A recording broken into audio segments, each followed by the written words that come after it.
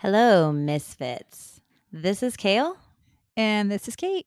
Welcome to Horrorwood.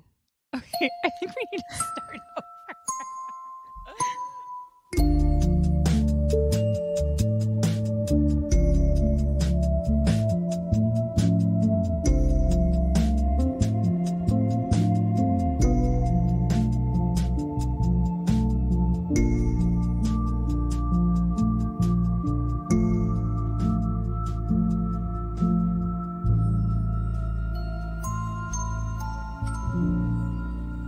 There's a lot of dead air there. It's okay. Know, I was like going. preparing myself to say it very slowly and eloquently. And and you mastered that definitely. you. You Thank did you a so great much. job. Uh, so I okay, I realized since you've been so Kaylee is staying at my house this weekend, and I realized that the entire time you've been here, we have not once discussed Johnny Depp and Amber Heard. And I know it's like all over everywhere right now. And I don't know if you watched the trial, but I did on Law and Crime and was like glued to it. And I just wondered, do you like, did you watch any of it? So that's a negative ghostwriter because I was working with students the whole time. But Oh, I true, did have true. a, a behavior technician or a BT or an aide in our classroom who was extremely tuned into it. Oh my God, I was hooked. when they gave the results of the DNA, just kidding, uh, the um, like, the jury, What? when they gave the results of the jury, uh, she made an entire um, like announcement. It was great, actually. I, it was all on text because we have a Oh, text okay. thread because we're not all in the same place at the same time. But Yeah.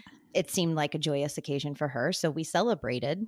And I I didn't thought even really was- know what I was celebrating. I was like not really on team either. Um, Oh, I I, was like- definitely teamed up. I, I mean, I do love a good pirate. I will So- say, well, number one, I just thought it was a good example to show that, like, hey, men can be victims of abuse as well, which I it's just not talked about as much.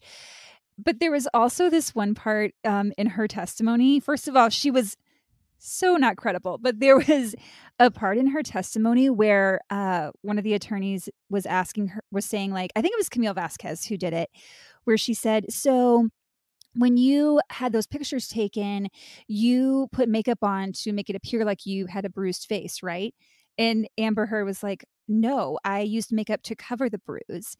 And Camille Vasquez said, And can you walk us through how you did that? And, or, you know, something to that effect. And Amber Heard goes, Well, first I did foundation, and then I put on concealer. And then I used a bruise kit. Oh, and- and- not, not a bruise kit, uh, a stage makeup kit. Uh, I, I call it my bruise kit. It was a legally blonde moment. Oh my god, it's the I was like. I was like, there are bruise kits. Like that is a thing that exists to make yourself look like you are bruised.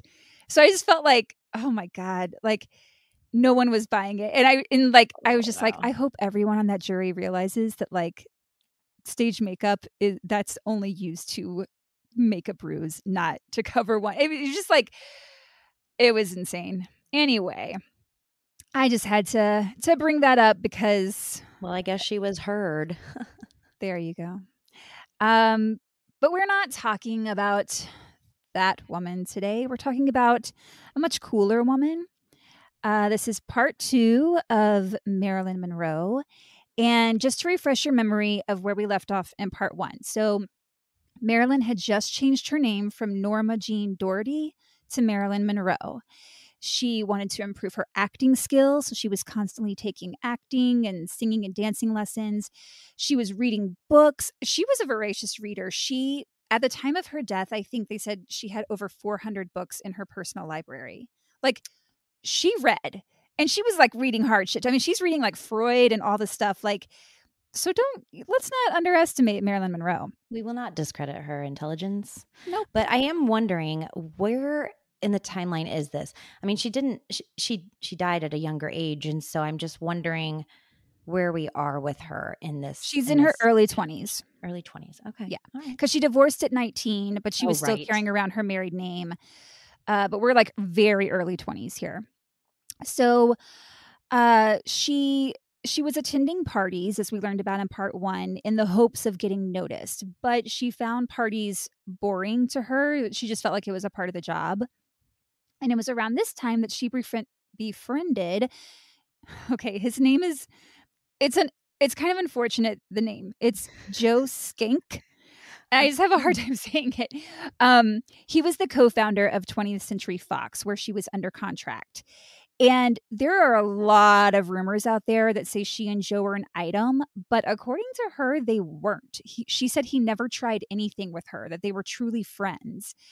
So, I mean, rumors are rumors, like who knows, but I'm just going by what she said. Um, by the way, for for these episodes, uh, so I used two like main sources and then some websites. So I used the book My Story. Um, it's by Marilyn Monroe with Ben Hecht, which you have to read because it is it's basically just her telling about her life up through her marriage to Joe DiMaggio. And it's fascinating. It's so so good. And then the other one I used is called Fragments and it's a compilation of letters and poems and things that she wrote that they've these editors have compiled into a book and that really gives you a look at like inside her mind. Um and then I used biography.com because they just have a lot of good information. So I'll link all of those in the show notes, but they it was fascinating. So despite her friendship with Joe Schenck, who is co founder of this studio, Marilyn did not hit it off with the other founder of the studio, Darryl Zanuck. Zanuck actually fired Marilyn from the studio from the studio because get ready for it he didn't feel that she was photogenic oh very interesting considering she is like a pinup I mean, like, what? Can you? Okay. So, not only that, he cut her out of all the movies she had bit parts in and told her she might be an actress eventually, but her looks were definitely working against her. Can you imagine being the guy who fired Marilyn Monroe because you didn't think she was photogenic? Coulda, shoulda, woulda. So, Marilyn was devastated when she was fired, obviously not only because she lost work, but also because she had learned at an early age that her looks were what got her attention. And she was like, well, how do I change how I look? Like, if that's working against me now, like, Where what do is I have? this sweater in this scenario now? I think at this point she had ditched the sweater because she left that, you know, she left that family because she had to Right. get married. So I don't know, maybe that girl wanted her sweater back. So she she goes to her buddy Joe Schenck and she says, Joe, Joe, Joey, Joseph, what do I do? Maybe this whole acting thing isn't right for me. Maybe I just don't have what it takes. And he told her, Don't you dare give up. You've got to keep going. Unbeknownst to her, he ends up calling in a favor to another studio asking them to hire her. And he tells Mm. Marilyn, Hey, you should call this other studio, see if they have any work for you. So she doesn't know that like he's set all this up. So she does. She calls that studio and they end up hiring her as an extra for several projects. So she's making a little money. And then the head of that studio calls her into his office and she's like, This is it. This is my big break. So she was really excited. She goes in for the meeting and the guy says to her, Well, there must be something special about you for Joe to recommend you. Yeah. Something special. And then he says, Come spend the evening with me on my yacht tonight. I can make you a big star. So What does that mean? he was just another scumbag. And because Marilyn wasn't about that life, she turned down his offer. She said when she walked out of his office, she felt like she had ruined her chance of ever becoming a star, which props to her because there are plenty of women who would have gone through with it either because they wanted to or they felt they had to. But she didn't. She walked right out. And as she drove away from that meeting, she thought to herself, there is something special about me. I'm the kind of girl they find dead in a hall bathroom with an empty bottle of sleeping pills in her hand. That Oh. is what she said. There's a theme going on with It's her interesting foreshadowing. given how she was found at the end of her life. So for Marilyn, though, things were never entirely bleak. She said, and this is also a really interesting quote. She said, When you're young and healthy, you can plan on Monday to commit suicide, and by Wednesday, you're laughing again. So, again, interesting. Shortly after the incident with the scumbag studio head, she received a call from the studio telling her she had a check for $40 to be picked up, which today would be around 500 bucks. So she was stoked. Um, which today would be, oh, sorry, let me not read the same line twice. And it was around Christmas time, and she was really happy because it meant she could afford Christmas presents for her Aunt Grace, which is just so oh, pure. Aunt Grace. Like, She's back. She's back. And Marilyn just wanted to be able to treat her, you know? And she was so excited that when she picked up her check, she left the studio forgetting to cash it. So I like I guess there was a place, you know, where performers could cash their checks right there. So she's walking along the street and sees a policeman and asks if he knows where she can cash her check and he's like, "Sure, there's a store right up here." So he walks her to the store and they, you know, they're making small talk. He's like, "What do you do?" "Oh, you're an actress." "Cool, cool, cool." And they just have a lovely little chat.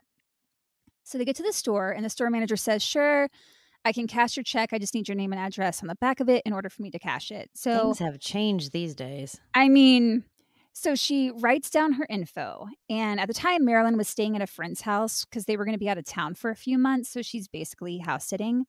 So she gives him that address. And even though it was temporary, he's like, That's cool. And he cashes it and hands her the money. So she leaves the store, super happy and excited. She does some Christmas shopping. She gets some things for her Aunt Grace. And then I she decides sensing some creepiness come through. Some creepiness is coming through. So first she decides to stop in at a doctor's office because she had a bit of a cold. Because again, like it's you know, the weather's changing a bit, even though it's LA, like, you know, it's things are changing in the air. So she tells the doctor, Hey, I have this cold. It's keeping me up at night. What can you give me? because you know when you have a cold like it's the worst you can't breathe your nose is all stuffed up and you're just miserable the nasal drip the nasal drip which i feel like i have daily anyway and in marilyn's case you know nyquil wouldn't be invented for another 20 years so the doctor says here i want you to take these sleeping pills don't usually recommend them but you haven't slept in so long a good sleep will help your cold so, from what I could find in my research, this seems to be the first time she was prescribed sleeping pills. So, Marilyn goes back to the house where she's staying. She takes a pill and dozes off. And then, after sleeping for a few hours, she is awakened by someone cutting the screen of her bedroom window. That is that is a night terror I have. Oh, it's terrifying. And she's again, she's like alone in this house. So she runs out she sees she runs outside. She sees a man climbing into her bedroom window. So, and I have to give her credit for this. She tries to, her best to imitate a gruff male voice, and she's like, "Hey, what are you doing here?" And the man turns and looks toward her direction, but it was dark, so he couldn't really see her. So then she says, "Get away from here! I'll call the police." like I feel that's what she sounded I like. might be trying that tonight. And this is when the man climbs down from the window and starts running toward her. Oh, no. Because she was wakened from a dead sleep, Marilyn is only wearing like a half nightgown, like kind of like a cami, you know, that came just below her waist and underwear. She's barefoot because she didn't have time to put on shoes. And now this guy is chasing her. So she takes off running your face right now, Kimmy. I know. You got to give it to this girl. I mean, she is, she's a beast. I, that's the thing. Like she's she a fighter. fights her way all the time. She does. So she goes to a neighbor's house and she starts screaming and pounding on the door. And a young couple answers. And well, you know what? I say that they're a young couple, but I actually don't know how old they are. They're just a couple. so, so the um, a man and a woman answer, and Marin, Marilyn tells the man, hey this this guy just broke into my bedroom and is chasing me can you can you go after that guy and the man was like um no he probably has a gun i'm not getting involved with that but they did however let marilyn in to call the police and told her she could wait at their house until the cops came i feel like this is a movie in the making i think that marilyn could actually script her own movies and it's too bad she didn't have the chance to because she already has I mean, so right? many stories that I know she could put out there that I feel like uh, actually probably are out there. Some most of these movies that have already been made probably reflect her life. I mean, it's wild because, like, I used to live in LA. I lived in LA for like eight years, nine years, something like that, alone.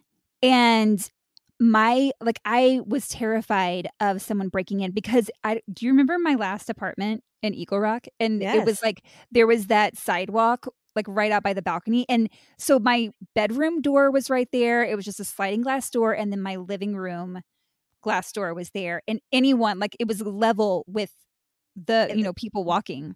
Yeah. And in fact, let me just pause to tell a little story. Uh, Please do. when your first place that you lived in LA, I came out and visited you. It was I'm questionable at most. Wait, oh I I know that place. It was, was I question- sleeping on the air mattress on Yes, the floor? Yeah. It was questionable at most. But uh, I will remember I went to I went on a run because I think you had to work.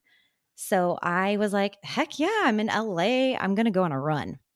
I went on a run in the neighborhood and there was a point where there was a I I think was a woman. She was like in a moo on the ground Oh. with a paper bag next to her and she appeared to be dead and i'm pretty sure she was because there were Oh my God. flies all over her Oh my god. And there was like a little bit of tape around her like like a police had come out there but there was nothing i mean it was like why didn't you take away the body i'm so confused what's happening right now Wait, so they they had like police tape around her? well it wasn't really police tape it was like it wasn't even around her it was just nearby like maybe that uh convenience store that was close by had been broken Okay. in before i mean it was a pretty sketch neighborhood Oh, yeah, yeah, yeah. if you remember right. Uh, yeah.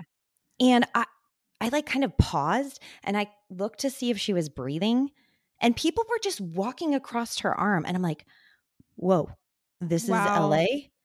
That's like- terrifying. This is the land of la la goodness." Uh, this is mean, the land I- of I definitely saw some shit when I lived there. Maybe we'll talk about it at some point because damn, I let's just say like I'm I'm cool that, you know, I had that experience and moved I'm on. in a different point in my life. So but it doesn't shock me. I mean, just you know, people get in their own realm of things, and and people don't always help.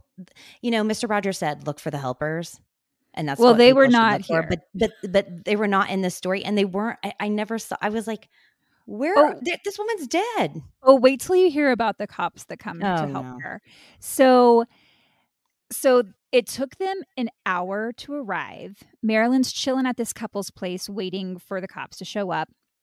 An hour later, they finally do. They escort Marilyn back to the house, and by then the guy was gone, obviously. So the cops like, "Oh, you scared him off. You could go back to bed." And she's like, well, "What if he comes back?" He knows the address. He's like, oh, that never happens. Just relax and go to sleep. Just relax and go to sleep. Like someone just broke into her bedroom and started chasing after her, and these cops are like, meh, no biggie. Um, I mean, I guess I'm not sir. shocked there, but no, sir. So right then, you could not have cued it better. There is a pounding on the door. And one of the tech detectives tells Marilyn, go open the door. what the hell? Uh, yeah like he didn't even open it for her. He's just like yeah go open the door. Um okay. So marilyn opens the door and standing there is the same man that had broken into her bedroom and he immediately grabs her. So the two detectives finally jump into action and grab the guy and restrain him and they're like who the fuck are you? And the guy's like oh i'm marilyn's old friend. Tell him honey. So he calls her by Oh. name and she tells the cops, "Ah, Yeah, he does look a little familiar, but I don't know who he is. So the cops say, Tell us the truth, Miss Monroe. Like now they're accusing her. Right. They said, Is this an old sweetie of yours? He's clearly not a burglar. He knows you. So while the first cop was questioning Marilyn, the second starts searching the man and found a revolver in his pocket. And he said, This is a police gun. Where'd you get this? And that's when Marilyn realized who the intruder was. It- It was the fucking policeman that walked her to the store to cash her check. That's how he knew her name and address. So she tells the detectives this, which the guy denied.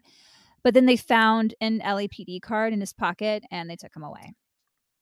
So the next day, the detectives paid Marilyn a little visit and told her that the man was a new cop with a wife and a baby, and they'd prefer she didn't file charges because it would look bad for the police force. what? What the fuck? Like these these cops, I can't. Slimes. So they assured her the man wouldn't try it again or on her or any other woman, and so she didn't file any charges.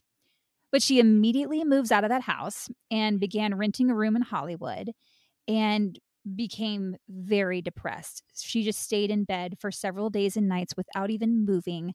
She just cried and stared out the window. I mean, think about everything she's overcome at this point, and now she exactly. she feels unheard, unbelieved. I mean, th- the poor woman can't even catch a break. Exactly. Things wouldn't stay shitty for long though. Please say that about my life.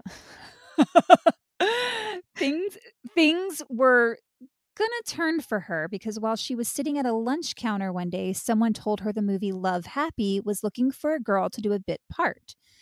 So she ends up meeting like with the the, producer of the film, Lester Cowan, and he introduced her to Groucho and Harpo Marx, who were both in the film. So the bit was that a woman would walk past Groucho in an office and he would have like whatever his reaction was. And I and she'd say a line or two.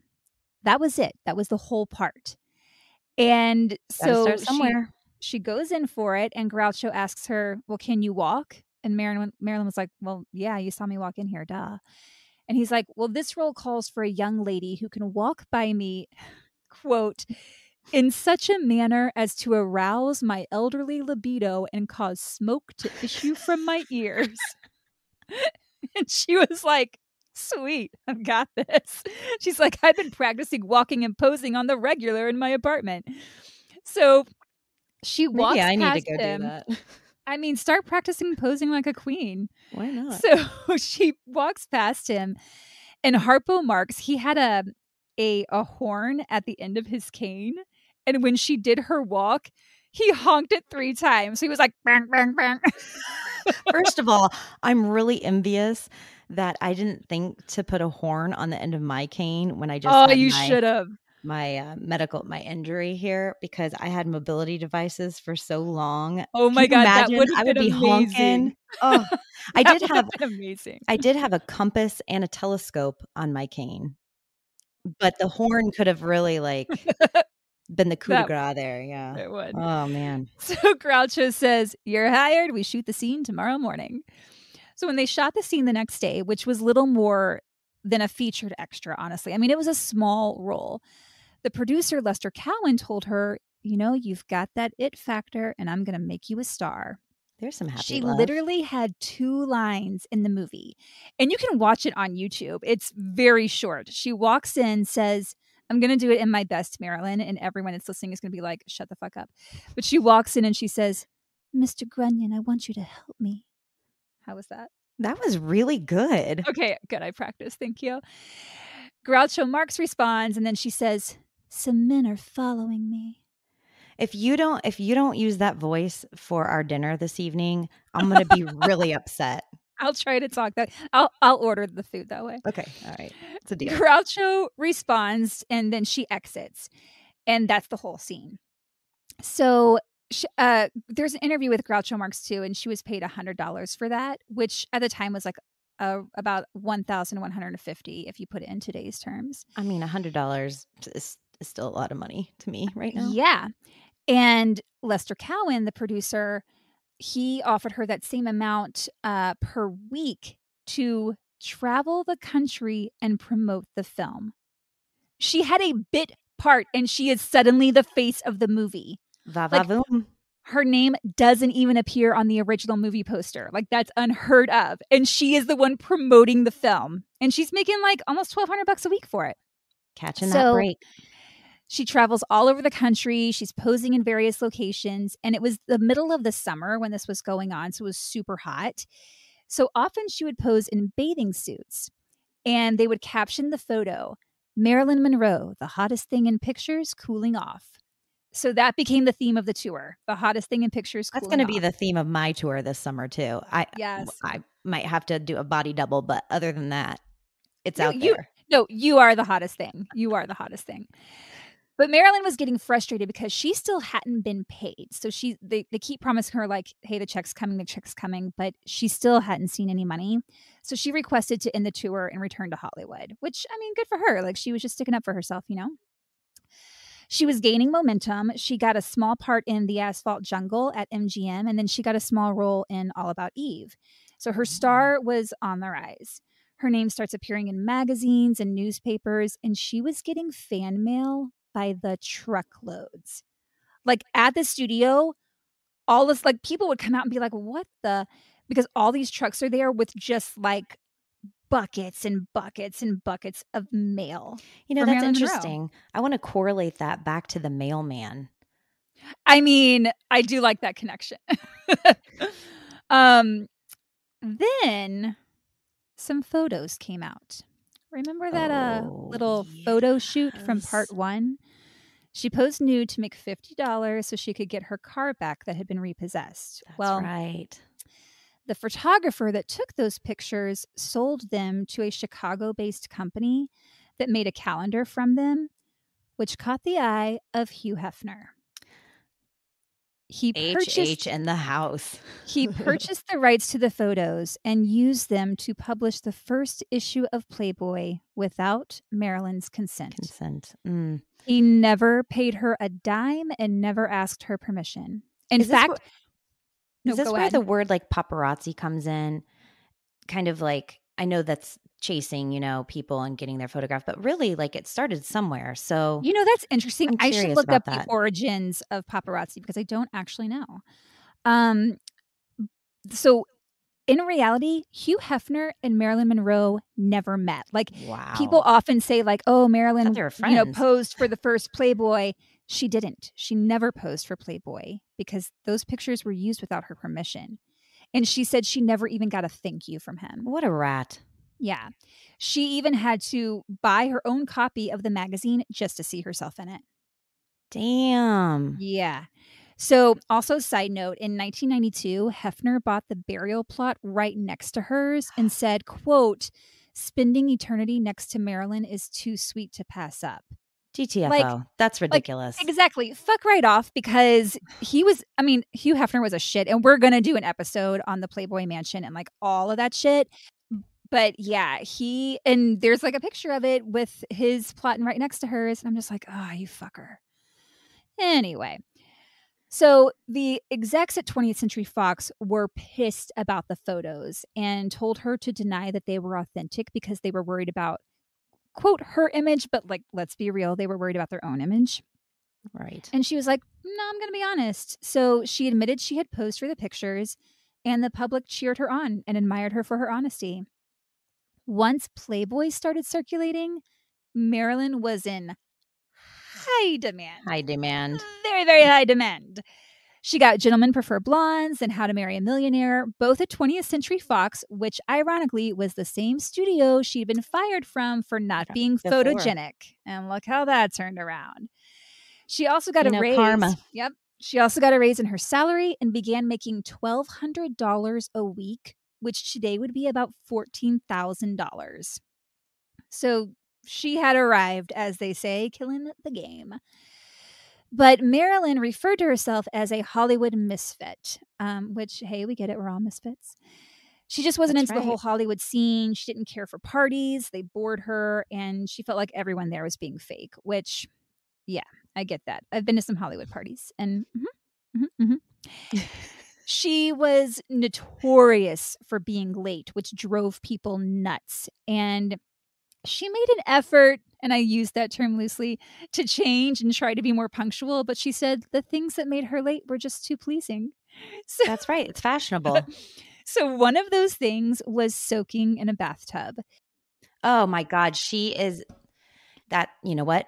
She's my shero. I know, right? I love taking a tub. I love it. you should take to the tub today. I'm thinking about it right now. Seriously, now now you've got it in my head. I might have to do that later. She would sit in the bath for an hour or longer, like an hour or longer, and she'd pour perfumes into the, the tub to make it smell good, like a little aromatherapy, if you will. I might be having to change my name. Then get this: she would drain the tub and refill it with fresh water and then soak some more. Yeah, because sometimes when you take a tub, you kind of feel like you got a film on you and you need to rinse that off. Yep. I know, I know. Listen, California's in a drought. Trust me, I live there, so I get it.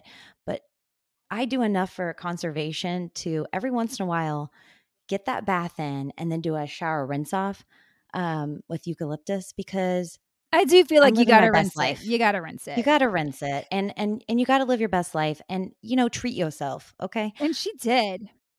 After today, I'd like you to call me Kaylee Monroe. I'm feeling it. I'll try. I'm feeling her. I'll try. okay. She said it wasn't Marilyn Monroe in the tub, it was Norma Jean. And she wanted to Oh. give Norma Jean a treat. Because remember, as a child, she had to bathe in water that six or eight people had already used. So the fact that she could bathe in clean water and make it smell like perfume, she couldn't get enough of it. Then, when she'd get out of the tub, she'd spend another hour rubbing creams into her skin. She was the queen of self care before self care was a thing. As she became a better actor, Marilyn decided she wanted to become more educated as well. She felt that when she'd go out to dinner with friends, she couldn't really keep up with the conversation because, and these are her words, quote, she didn't know anything about books, history, art, sports, or politics. So she enrolled herself That's what in was talked about then too. Yep, she enrolled herself in USC.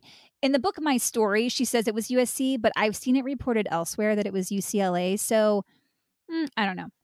A university. She She, was taking university classes. True, Let's yeah. just keep it at She that. later says US- UCLA, but in my story, it's USC. So we're going with it. She went to school every day. Like she would be on set during the day, go to school at night, like whatever she had to do. She took an art course, then got into psychology. Never underestimate a blonde. Okay, just let's True put that story, out there. true story. And she just wanted to read any book she could get her hands on. So she was really getting after it. She was also, you know, working regularly during all of this. So she'd be on set for hours before she had to go to class. So she didn't really have much time for a social life. And as the demands of her career took over, she unfortunately had to leave school. Mm. She felt tired all the time and she just felt like she was becoming dull. Then one day, a friend of hers at the studio, sorry, I didn't want to clear my throat and then I had to do it. I'll try to mute myself next time. Then one day, a friend of hers at the studio mentioned that Joe DiMaggio was in town and there was going to be a small dinner party that he'd be attending and she should go. But Marilyn didn't even know who Joe DiMaggio was. And she said, he plays football or baseball or something, right? And her friend was like, oh, girl, we got to get Oh, you out of this work tunnel you're in. But Marilyn wasn't feeling it. She said she had no interest in meeting him. And when her friend asked why, she said, I don't like the way athletes dress. I don't like men in loud clothes. Loud clothes. like, what? I mean, okay. Uh, Did I don't think she must have seen their backside then because a man in a baseball uniform and the tush behind it. You're into it. You're into it. Mhm. Uh, but Marilyn's friend finally convinced her because, you know, Marilyn needed to get out. And so she gave in and agreed to go to the dinner. She was late, as per usual. when she saw him, she said she was surprised at his appearance because he was very reserved. So I guess he was not wearing loud clothes. Mm. She said he wore a gray suit with a few blue polka dots in his tie. And she said he looked more like a congressman than a ball player. So she was kind of into it. She Okay, introduced okay. herself and he said, I'm glad to meet you. And that is the only thing he said to her for the rest of the dinner. She is literally sitting right next to him and they did not talk. There were others at the table and DiMaggio was like really quiet, just listening to them talk. So Marilyn decides she's going to strike up a conversation with them. So she turns to him and she says, I love this. She says, There's a blue polka dot exactly in the middle of your tie. Did it take you long to fix it like that? Note to self, that is my new pickup line. I cannot wait to use it. he didn't even answer her using words. He just shook his head. Like, what? But despite him being so quiet, Marilyn said he was the most exciting man at the table because all the other guys were trying to show off for him, but he didn't have to show off because he's Joe DiMaggio. And Marilyn was used to men in the film industry who sa- who she said never seemed to know when to shut up. So she Mm, was mhm. captivated by Joe and immediately felt an attraction to him. But since he wasn't paying any attention to her, she was kind of getting tired of it. So she's like, I'm going home. So Yeah, Joe, because we girls we get bored. It's like, okay, it's intriguing to hear the pause, and then it's like, come on and talk to us. I mean, us, yeah, you got to okay? give us something, fellas. You got to give us something. Or ladies, depending on your orientation. So Joe offers to walk her to the door. When they get to the door, he says, I'll walk you to your car. They get to the car and he says, You know, I don't have transportation. Would you mind dropping me at my hotel? So he just bailed on everyone at that dinner. Like he doesn't talk to her the entire night. And then suddenly he's like, Hey, can you give me a ride? I'd be like, um. So Marilyn agrees to drive him, but she was bummed because his hotel was only five minutes away and she didn't think she would ever Oh, see him again. time. Yeah. So as they approached the hotel, she slowed the car down to a crawl to prolong the trip. And then he says, You know, I'm not ready to turn in. Would you mind driving around a little while? Which, okay. Oh, a good drive. So part of me is like, dude, like, why are you putting this on her and making her drive your ass all over the city? But then, like, a part of me is like, okay, I get it because she wanted to spend more time with him, but it's just weird. Like, he doesn't talk It's a to little her. endearing, right? It's a little endearing, but guys are just awkward. They sometimes they just they're mm, clueless. I okay? mean, ugh, this one. So she was stoked. She was so giddy. She said her heart jumped and she was full of happiness, but she wanted to play it cool. So she just calmly nodded and said, It's a lovely night for a drive. I cannot wait to use these pickup lines. Like it's one after another. I'm gonna have scores of men after me. I can't wait. They're going to be lining up, Kaylee. I'm telling you. It's like in high school when the person you're crushing on asks you out and you don't really want to seem eager. So you're like, play it all cool and nonchalant. And then you immediately run and tell your best friend. Like, it, she was like, she had that like giddiness about her, you know? So they end up driving around for three hours just talking. Oh, it's like it's like that. It's like when you catch a guy or a gal, whatever, and you can't hang up the phone from them, or you can't stop the date. It's you just want it to keep Yeah, going. like- that is like, those are some of the best moments. There were fireworks. They were hitting it off. So they dated for a year and a half to two years after that, and then they got married. But unfortunately, their marriage only lasted nine months. Joe was very conservative and controlling. Mm. He made her change the way she dressed because he didn't like that some of her clothes were a little revealing. So he told her to wear tops with high necklines. And for the most part, she did. Like she was trying to make this marriage work. And oh boy. He also didn't like all the attention and pub- publicity she attracted because at this point he was retired. So his career is winding down. Oh. Hers was on the rise, and he did not like that. He wanted a Mhm. quiet life. So, unfortunately, along with being controlling, he was also physically abusive. I'm Oh, sure- I didn't want to hear that. I'm sure we're all familiar with the famous photograph of Marilyn in the white dress standing over the subway grate where the wind blows her skirt up and she's trying to hold it down and she's laughing. I mean, that's probably like the most famous Marilyn photo I can think of. So that scene was for the movie The Seven Year Itch, and it was filmed on Lexington Avenue in Manhattan on September 15th, 1954. Joe DiMaggio was there on set that day to watch the filming. And I didn't know this until I was doing the research, but that whole scene, the, the skirt flying up and all of that, was a publicity stunt planned by the studio. They told everyone that that was going to happen. So they they're basically like putting the word out for some free publicity and thousands of fans and press photographers showed up to watch the film them film that scene. So Marilyn, she knew that this, you know, was going to happen. So she wore two pairs of white underwear that day because she knew everyone was going to see her underwear and girl just wanted to be prepared, you know, so she doubled up. A crew member is actually crouched in that subway grate with a fan to create the wind effect. Oh, wow. Which also, I don't know who the crew member was, but can you imagine being the person who like gets that assignment? They're like, Underneath. so you're gonna stand underneath Marilyn Monroe while she's wearing this dress, and you're just gonna blow a wind machine to make her dress fly up. Like, I mean, it, it is true. When a when the subways are passing, you're walking over one of those grates. I used to live in New York. Uh, Oh, yeah. my dress or skirt flew up many a time, and I did not double up. So I'm sure I gave a show to several passerbyers. yeah, they Pass- passerbys. they- like I always thought that that happened. Like I truly believed a, a subway train had gone across at that time when they happened to be shooting, and like, oh, they happened to catch this. No, that was all a publicity stunt and planned. Planned. So they shot 14 takes of the scene. The cr- 14. Yeah. the which honestly, I mean, yeah, that's a lot, but the the crowd was loving it so much, so Yeah. you know they're giving them what they want. Um, the director Billy Wilder though said that Joe had the look of death on his face. He was pissed, and he stormed off the set and went into the nearby St. Regis Hotel. Marilyn followed him, and it was there in suite 1105 that a heated argument took place and Joe beat her up. She had to call hair and, the hair and makeup team to come and fix her up so that they could keep shooting. So he's kind of a piece of shit. Oh. Three weeks later, she announced their divorce. And it was around this time that her drug use began to increase, and she was, you know, using that as a coping mechanism.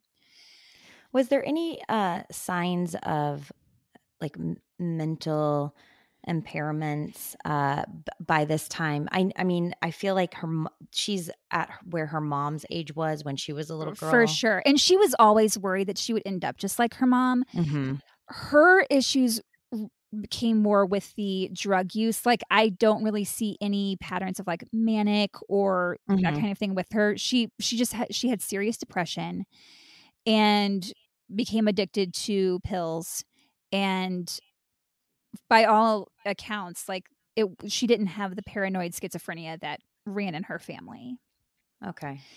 so Marilyn was getting fed up with Hollywood, and aside from her marriage ending, she really wanted to be taken seriously as a dramatic actress. But the studio always put her in these, you know, the silly, dumb Typecast. blonde. Yeah. Mhm. And she was over it. She had a turbulent relationship with the head of the studio, Darryl Zanuck, probably because of how they started. He's the one that fired Right. her. And he was the uh yeah, he was the one uh, I'm sure you remember who did not think she was photogenic, but now Right. she's their biggest star. So they just had a weird it was it was a bad vibe.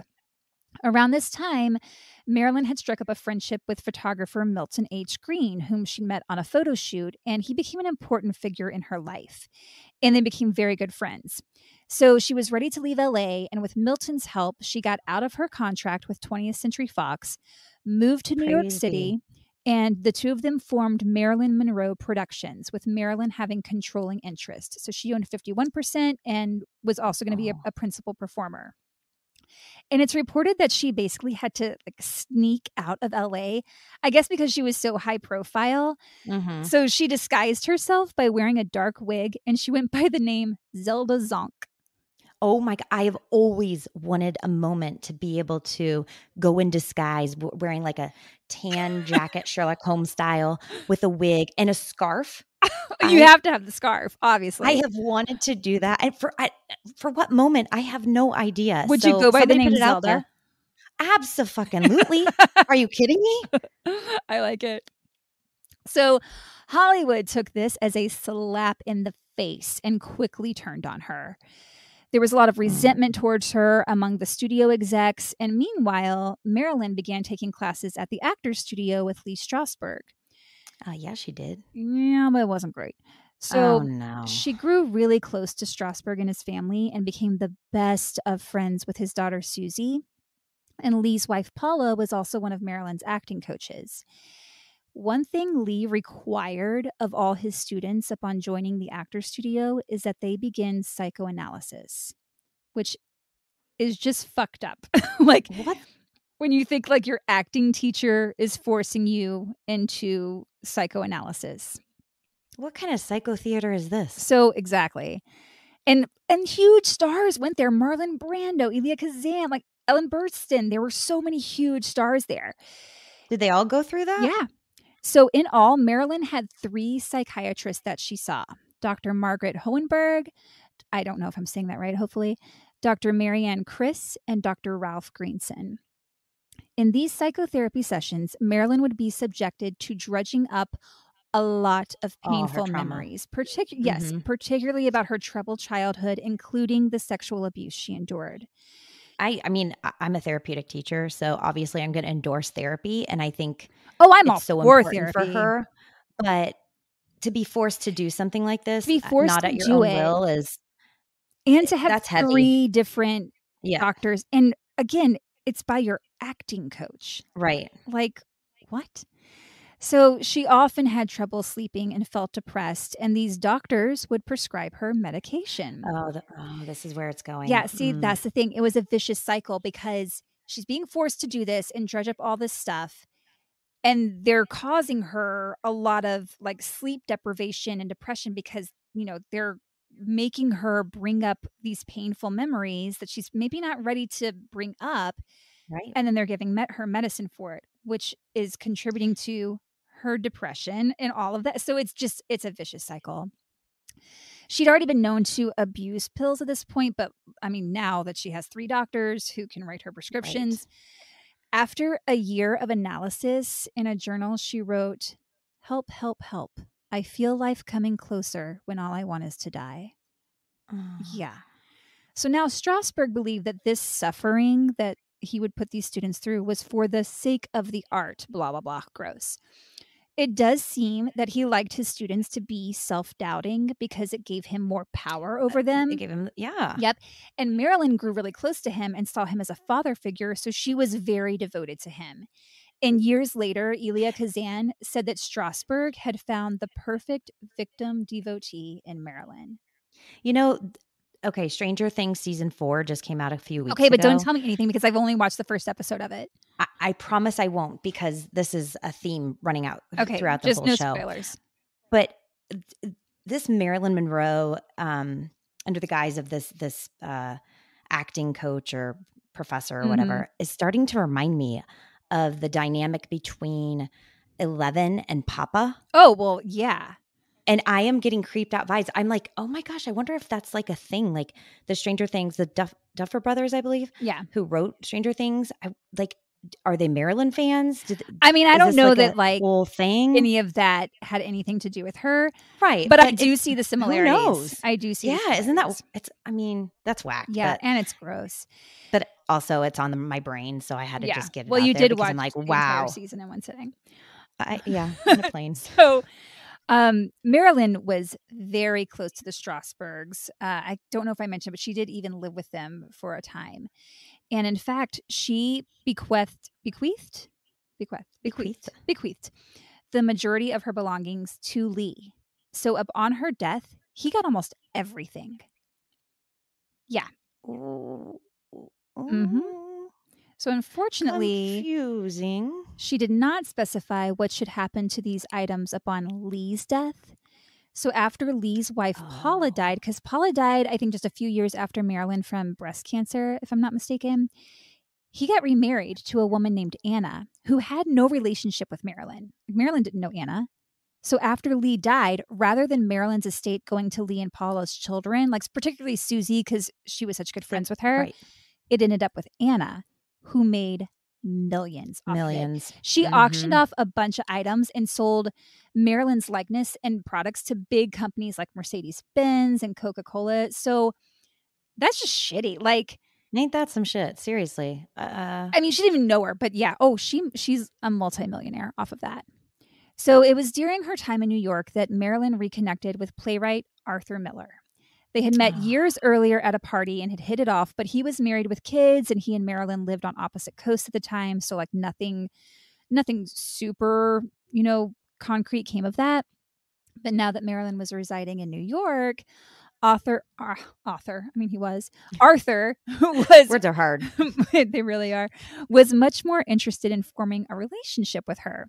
And although he was still married, he and Marilyn began an affair. He divorced his wife shortly after and soon married Marilyn. She had converted to Judaism for him, and Lee Strasberg, Oh, I didn't know that. yeah, acting as her father figure, gave her away in an intimate Jewish ceremony, which I Marilyn Monroe Miller. Okay. Yeah. Um, Arthur gave her a ring with the inscription A to M, June 1956, now is forever. And on the back of their wedding photos, she wrote, Hope, hope, hope. It's just like, oh, Just like help, help, help. But now we're at hope, hope, hope. yep. Arthur saw a lot of potential in her. He felt she could be successful as a dramatic actress. Because again, like that was one thing she wanted more than anything was just to be taken seriously. And he also felt she was really intelligent and that her intellectual side just hadn't been cultivated.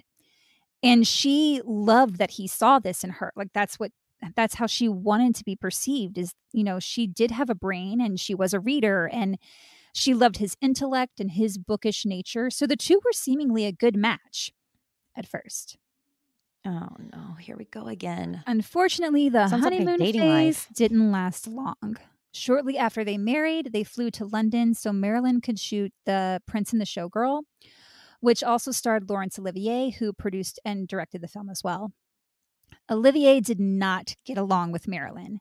There was a lot of tension on set. Marilyn was often late. She kept Paula Strasberg, her acting coach, on set with her, and she wouldn't do anything without consulting her first. And it drove it drove Laurence Olivier nuts.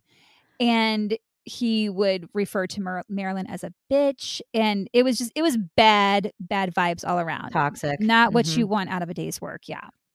So during the course of filming, Marilyn and Arthur attended a party.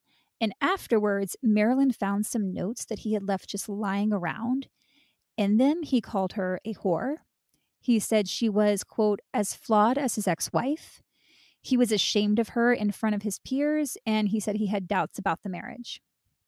So, oh, Wow. needless to say marilyn was devastated like i don't i don't know if he intended for her to find that or not but why would you leave that lying around Yeah. like that's weird to me so one thing about marilyn that a lot of people don't know is that she wrote a ton of poetry especially once she started started seeing psychiatrists i think just because you know she's has all these things coming up that she needs to get out Just the thoughts. Yeah. Right. so when she found the notes from Arthur, she wrote several poems and she wrote them at the home where they stayed in London because it's on that stationery from there.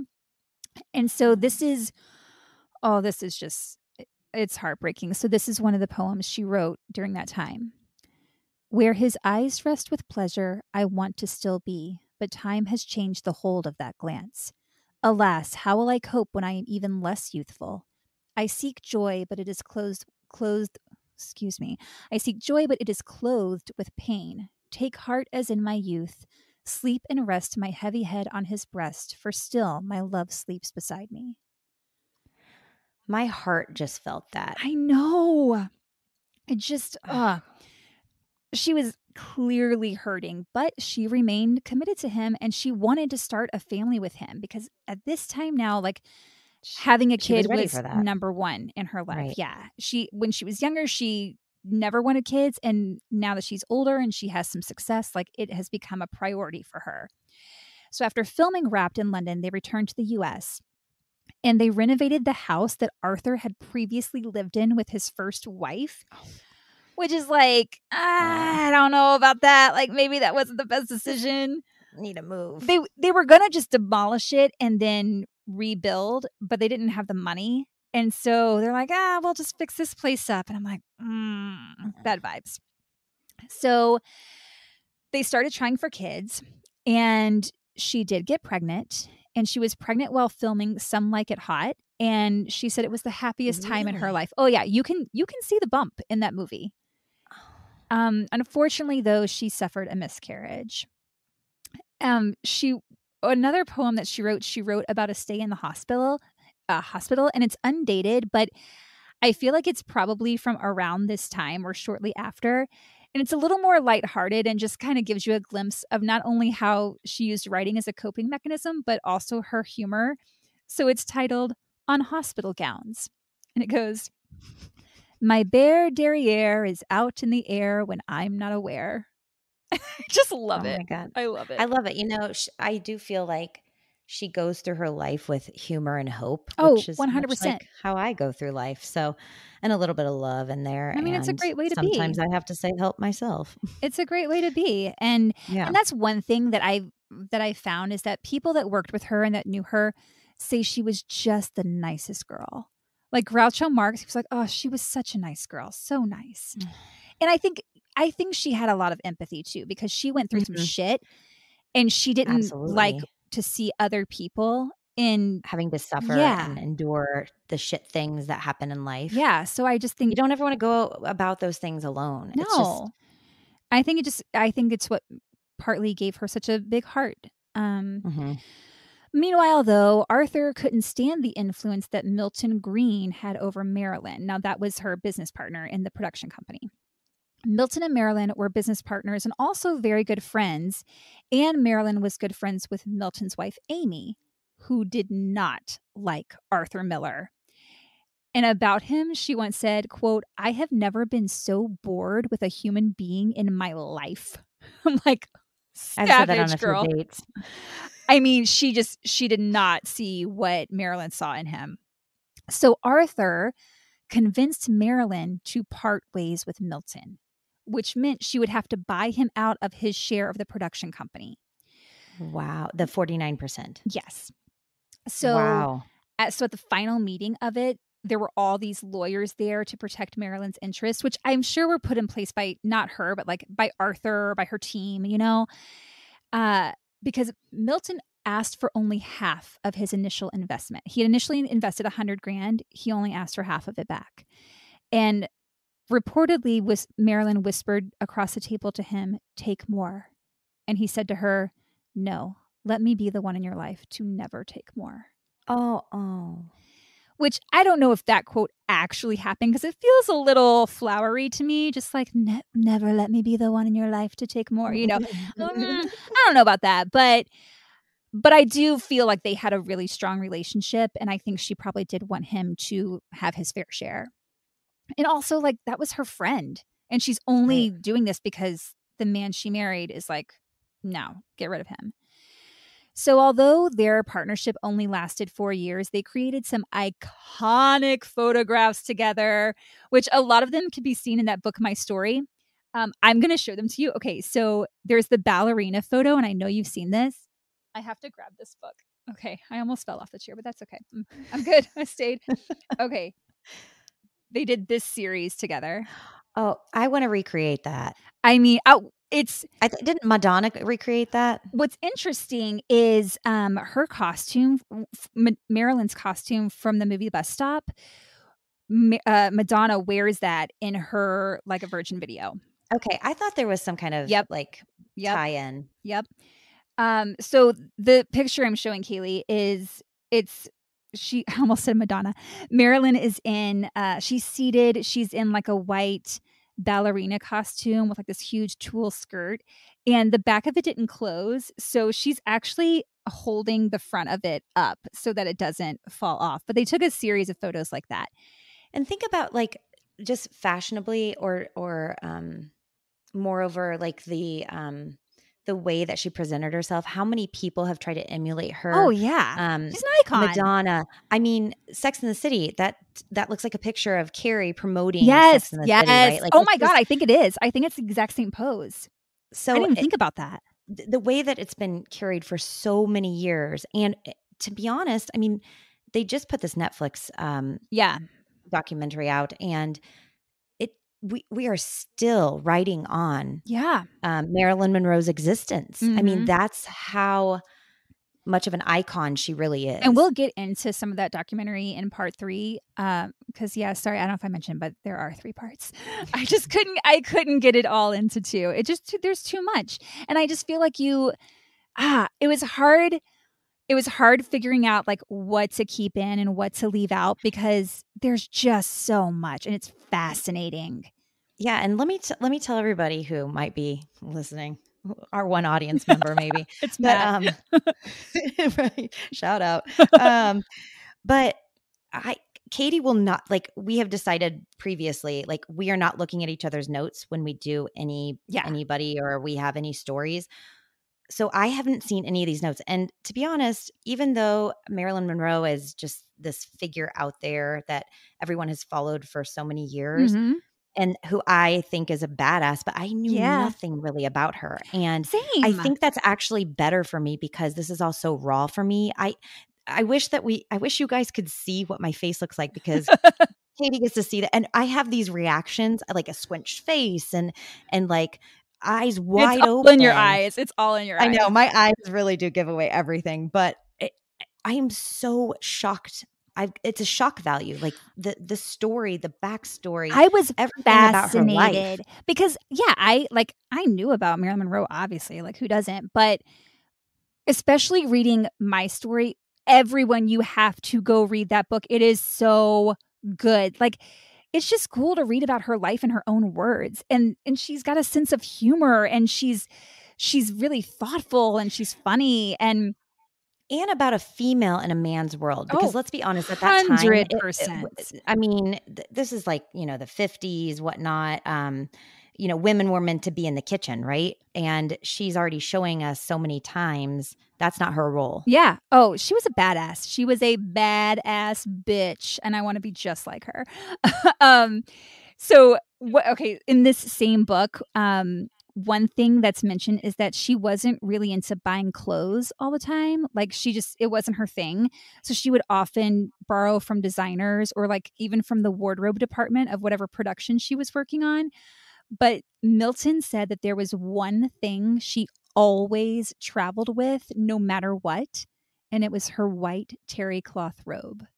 And I'm just like, oh, same. I get it. I'm going to show you this picture because it just, it's just like pure happiness. And she just looks so content. She, I think this was probably like shot in some hotel room or that, or something she stayed in.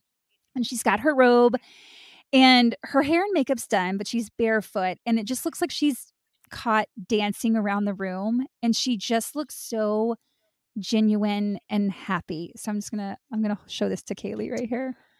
oh gosh you know what i don't have a robe but um, mom if you're out there first of all i'm fine i always have to tell my mom i'm fine But second of all, my birthday is coming up in July, so um, there you go. there you, you, go. get Yeah. me a, a white terry cloth robe, and I am going to just live it out. I okay. Okay, so I will turn to shreds. I have a like it is one of my prized possessions. It is the softest, coziest white robe, and I got it at the gift shop at the Bellagio Hotel in Vegas when Matt and I were there for Bouge. vacation. Oh my god, so bouge. I feel like I am at a spa every time I wear it. Take to the tub, get out and put on that robe. Yes. Yes.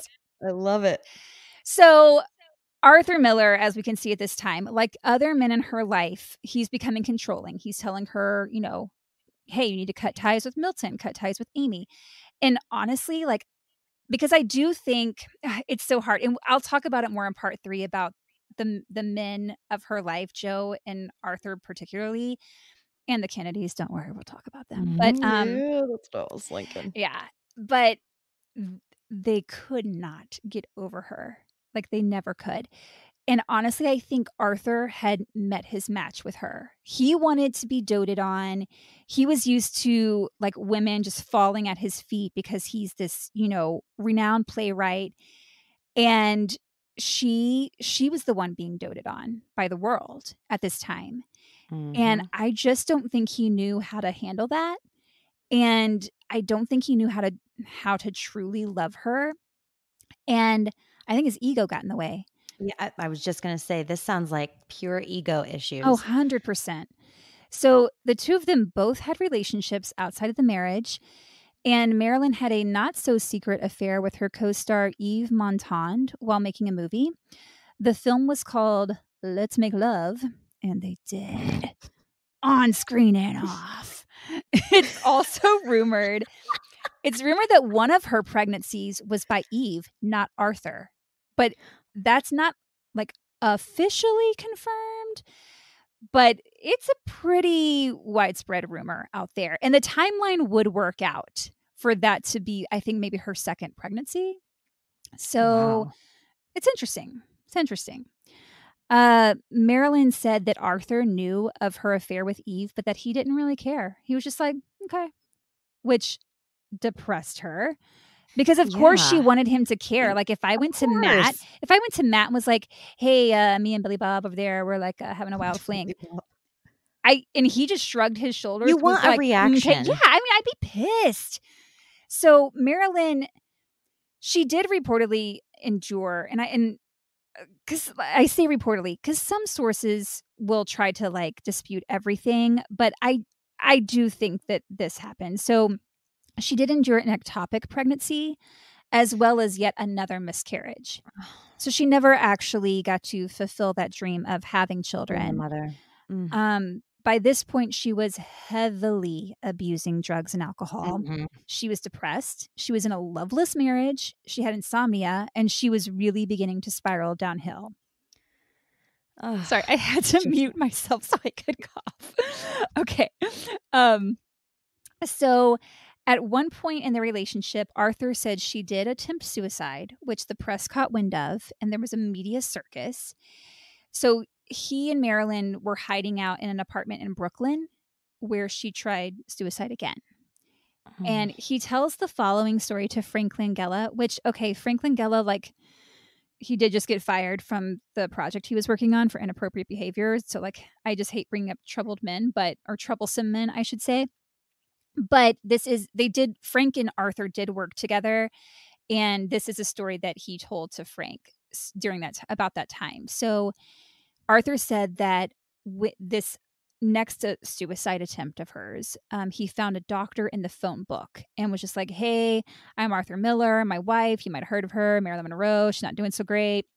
And the doctor didn't believe it was him because, like, who would? You know? would? yeah.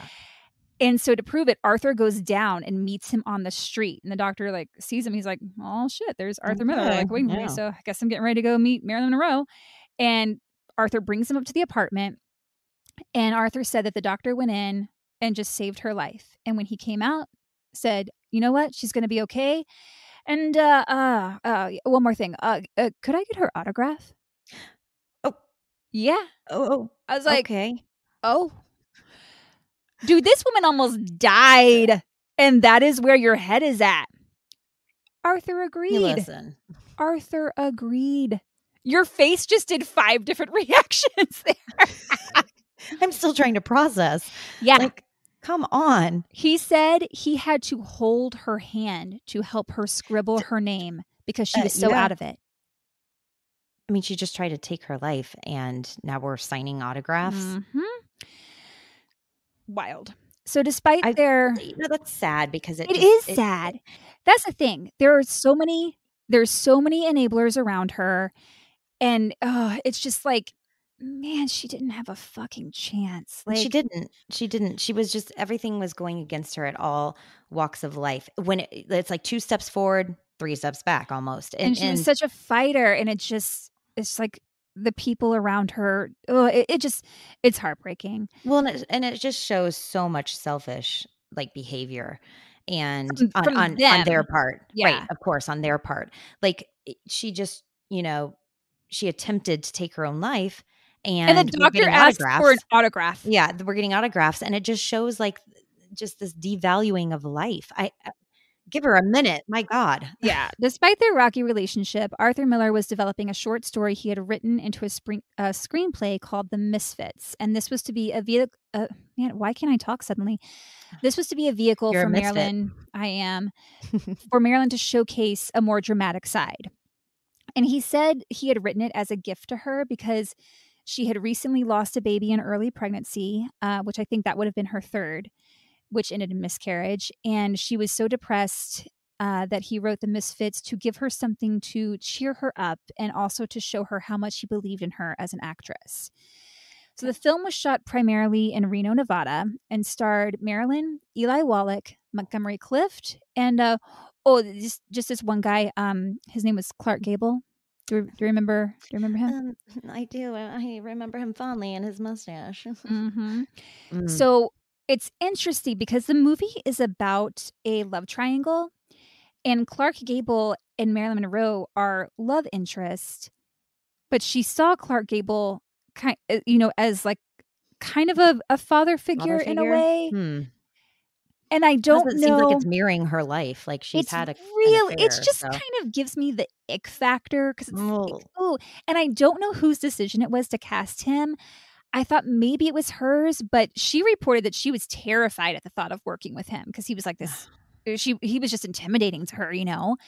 So i'm I'm, never like, gonna look at Rhett butler the same I'm like, did did Arthur Miller want Clark Gable to play him? Was that like kind of a Hmm. weird head fuck towards her? It's I don't know. It's interesting. Um, one note about the film I wanted to include that it's kind it's a little off topic, but it's fascinating. So there's a scene where Marilyn is naked in bed with a sheet over her, and Clark Gable comes in and gives her a kiss and then leaves. Then she's supposed to get up and get dressed. So when they're shooting the scene and Marilyn gets up, she purposefully dropped the sheet before putting on her blouse. So she was completely exposed to the cast and crew. And the director, John Huston, was like, Cut! Whoa, whoa, whoa, whoa, you can't do that. You can't be nude on screen. Because the Hays Act was in effect at this time, which was basically well, it was the Hays Code, I shouldn't say act, which um it was a self-governing code in the movie industry. and It had a shit ton of rules about what could and could not be seen on screen. So they shoot another take, and once again, Marilyn drops the sheet, exposing herself. And the director's like, Marilyn, stop dropping the sheet. And she's like, oops, my bad, sorry. Just need to get some air. So they do another take. Again, she drops the sheet. So Huston's getting pissed. What's her motive here? I'm loving it. And he looks at her and she's like, Look, you should let me drop the sheet. It's only going to help the movie. Which I mean, yeah, she she Mhm. that's a true statement. Even Clark Gable and other people on set were like, Yeah, she should drop the sheet. And they Oh, would and they were saying, like, why would a woman and this is the thing, why would a woman who is naked in bed get up to get dressed and keep herself covered while no one is in the room, mind you, and try to put on a blouse while holding a sheet A over sheet? her. Yeah. It's ridiculous. unrealistic. I hate it. So Huston, if he if he had used one of the takes where she dropped the sheet, A fine. Mar- Marilyn. Well, no, but Marilyn would have become the first American actress to appear Oh, nude since the right. Hays Code had gone into effect. And Marilyn said, you know, one day nudity on screen is not going to be a big deal, but I probably won't be around when that time comes. She was Correct. right. Just one year after her death, Jayne Mansfield appeared topless in the movie Promises, Promises. I just thought that was so interesting. So while on set, things were not rosy, shall, shall we say, to put it lightly. Marilyn was relying heavily on pills and alcohol to cope with the struggles in her personal life, and Arthur did not seem to make things any easier for her. For one thing, he was constantly rewriting, rewriting, rewriting the Mhm. script as they shot the movie. So she's getting these last minute changes all the time, and she found it difficult to remember the new lines. So she was often late, mainly due to her trying to learn the new lines last minute Right. and she had a lot of anxiety over it. And then Arthur also incorporated a lot of their personal lives into the film. So the arguments that they would have at home would end up on the screen, which is shitty because seeing your life unfold like that. yeah, oh, she's like already dealing with a lot and then rehash it. Exactly. She's having to relive it every day at work. In particular, when Marilyn's character, Roslyn, is preparing for her divorce hearing, Arthur Miller wrote the scene directly based on her real life di- divorce plea that she had filed against Joe DiMaggio. Damn. I mean, that's, that's just a slap in the face. wow. I mean, that's fucked up. mm-hmm. Things are getting bleak. Arthur and Marilyn began staying in separate suites while they were shooting, and Arthur began dating the film's uh, ph- publicity photographer. Her name was Inga Morath. Probably said that wrong. And he met her on the set, and they later did get married. So it's I like mean, a Titanic kind kind kind of It's- uh, just vibe there. wild. Like he wrote James this for. Marilyn. right. he he treats her like shit she's having a hard time he's not supportive by any stretch of the imagination and then he starts seeing a woman that he met on that set and then they get married like it's just a lot so in august History of, repeating itself. It seems. You know? in august of 1960 production was shut down for two weeks because they were over budget partly because the director john huston had exceeded his gambling allowance he'd been given gambling $50000 to gamble while filming and he blew it all and then some Shit, that would pay off my student loans. Okay. I mean, 50 I just I can't even- gamble. So, yeah, exactly. So that 2 weeks was just studio execs in meetings trying to get things back on track. But rather than admit it was his gambling addiction that caused the delay in production, he convinced Marilyn's doctors that they needed to admit her to a hospital for her substance abuse and blamed the production delay on her. So she ended up going into a hospital. That's shitty. I mean, uh, she does need help, but That's a really shitty way to do it. Yep. When she was released, she was so hollowed out, like her skin looked horrible. Like she just she did not look good. So all of her close-ups were heavily filtered. And you can tell. Like when I was watching this movie, Matt and I watched it, I don't know, like a couple I don't know, it feels like a couple months ago. I was like, man, why? You know, actually, I look don't even, right. yeah. And also, I realized that Matt did not watch that movie with me, so I don't even know why I said that he was there because he was not. I was by myself. But anyway, but I could tell, like, I was like, Ghost man, love. why? Like, you could just tell there's so many filters on her. So in January of 1961, Marilyn and Arthur divorced before The Misfits was released. Marilyn chose this particular day because it was John F. Kennedy's inauguration and she Oh. felt the media would be focused on that and there wouldn't be much attention on her. on her. Yeah. Mhm. And again, like I said, we'll get into the Kennedys in part three, so don't you worry. The Misfits was released on February 1st, 1961. Two weeks later, Clark Gable died of a massive heart attack. And because people are shit, many blamed Marilyn for his death, For which is absurd. They said that it was her tardiness and her behavior on set that took a toll on him. not his Um, unhealthy behavior. Yeah, because I'm thinking it was more like the smoking four packs a day was- for 30 smoking. years. Everybody knew he smoked. and all the excessive drinking that did him in, Right. not to mention the fact he had already suffered, oh, I believe it was three heart attacks prior to his fatal one. So I don't know, just me, like, I'm thinking maybe, maybe it was that, maybe not Marilyn. I don't know. So shortly after The Misfits was released, one of Marilyn's psychiatrists had her admitted to Payne Whitney Psychiatric Clinic, but they told her she was just going in for rest. She didn't know that she was going into a psychiatric God, facility. people deceive her left and right. I know it's oh, it's so fucked up. So while she was there, she wrote the following letter to Lee and Paula Strasberg, and I just have to read it because, oh boy. So it says, "Dear Lee and Paula." Dr. Kris has had me put into the New York Hospital Psychiatric Division under the care of two idiot doctors.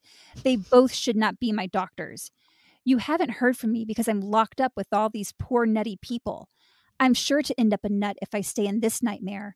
Please help me, Lee. This is the last place I should be. Maybe if you called Dr. Kris and assured her of my sensitivity and that I must get back to class so I'll be better prepared for Rain. So, Rain was a project that Lee was um, part hoping of. to direct. Okay. It ended up not ever happening, but that's what she's talking about getting back into acting class. Lee, I tried to remember what you said once in class that art goes far beyond science. And the scary memories around me I'd like to forget, like screaming woman, etc. Please help me. If Dr. Kris assures you I am all right, you can assure her I am not. I do not belong here. I love you both. Marilyn. P.S. Forgive the spelling. There is nothing to write on here. I'm on the dangerous floor. It's like a cell. Can you imagine? Cement blocks. They put me in here because they lied to me about calling my doctor and Joe, and they had the bathroom door locked, so I broke the glass. And outside of that, I haven't done anything that is uncooperative. So that's the letter that she sent to her acting coaches while she was locked up. My mouth is ajar, just to put that out there. It is it is a jar. To my knowledge, Arthur Miller never visited her while she was in the hospital. I mean, they were divorced at this time, but right. still like it was fresh, you know? Uh, but you want to know who did visit her? Oh, just uh just a little man named uh Joe DiMaggio. Joe's back? Joe is back.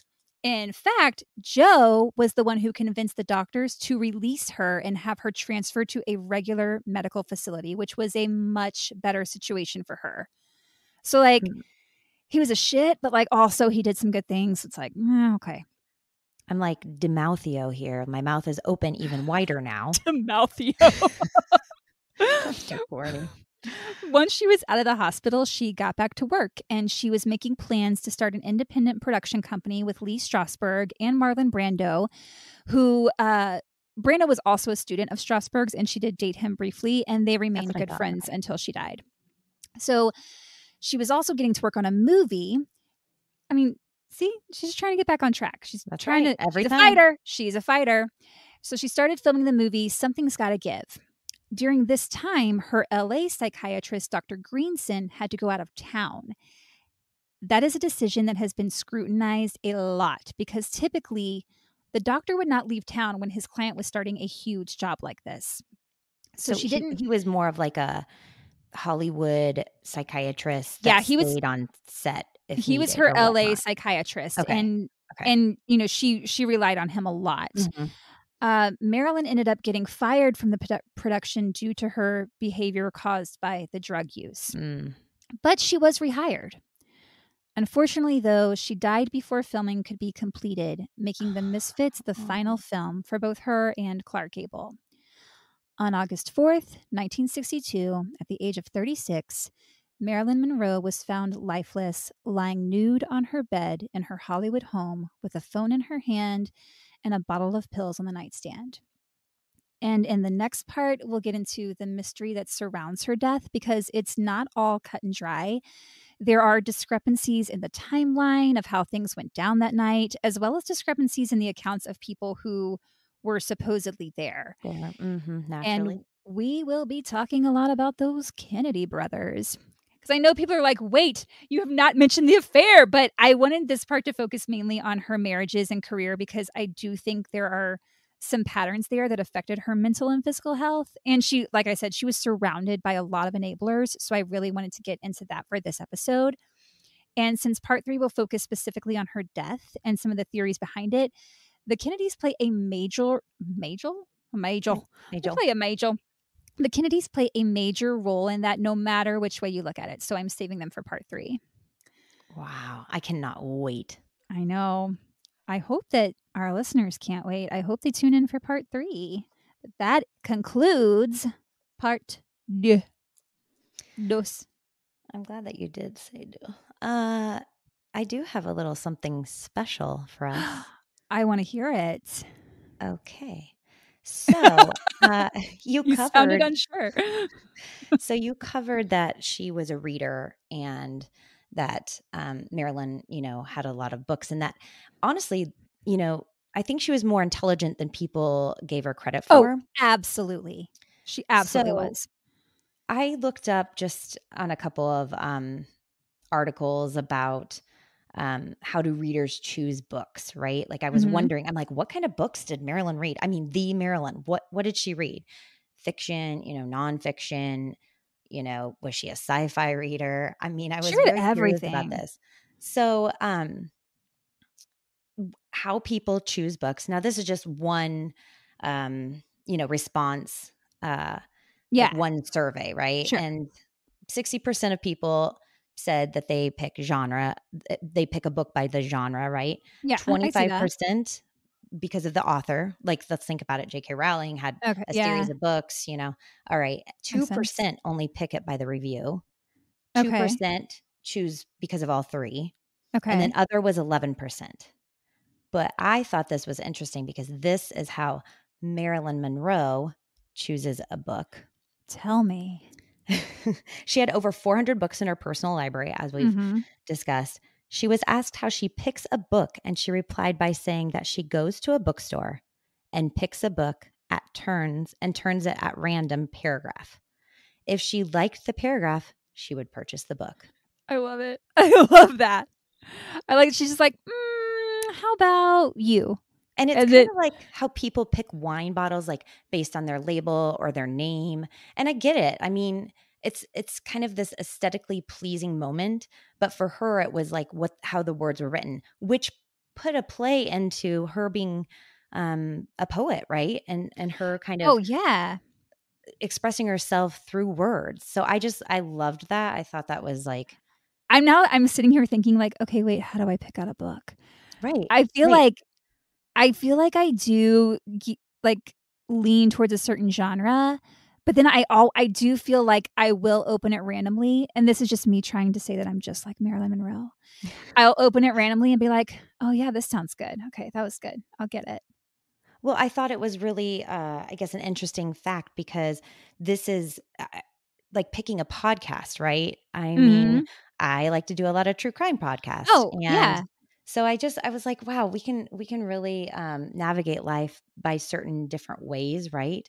Mhm. Where we pick to live, and I, I just loved the fact that, you know, words were so important to her. Yeah. Yeah. That yeah, that's the thing. Like no one really I say no one, I don't know. I I, I should just say for myself. I never knew that she was a writer and and that she studied so many different subjects and that she was really like doing the damn thing, you know? Right. Well, Girl power. I don't know. girl power. She was a badass bitch. Um, well, it's bitch o'clock at this household. It's so bitch o'clock, baby. let's get it going. well, I hope that you like this episode. I hope you tune in for part three, where we talk about some of the theories surrounding her death. And in the meantime, you can, and I swear, hopefully by this episode, no, by this episode, we will have stuff posted for sure. Um, but you can check us out on Instagram at Horrorwood Podcast. Uh, that's H O R R O R W O O D podcast. You spelled it right this time. Yay! I'm doing better. And okay, is it a Facebook page or a Facebook group that we have? I think right now it's a page. page, but I Mhm. think we should maybe change it to a group. But anyway, Okay. that's also at Horrorwood Podcast. And we are on Twitter at Horrorwood Pod minus the cast. So just at Horrorwood Pod. And Come also I at us. Come tweet at us. Just kidding. I'm never going to post on the Twitter. Let me be honest. I'll, Okay. I'll do Instagram and Facebook. I'm gonna try to post on the Twitter just Okay. because I did make the account and I feel That'll like I should. Yeah. I, I'm so You can bad twit. at social Tweet. media. twit. So know. bad. Um, and then I we did set up an email, and I think it's you know what I might have to look at it right now. I'm pulling it up right this second. It is gotta put in my password. Something hor- hor- Uh, horror. Horror. Horror. I wanna say- horror. I'm about to Horrorwood. find it right this moment. It is horrorwoodpodcast at gmail.com. Oh, that's easy. Oh, easy. So send us a little message message. And uh that's that's it for today. Bye. Bye for now. Keep on being a misfit. Keep on being a misfit. I feel like that's a country song. Keep on being a misfit. I mean, it is. It is with you singing it.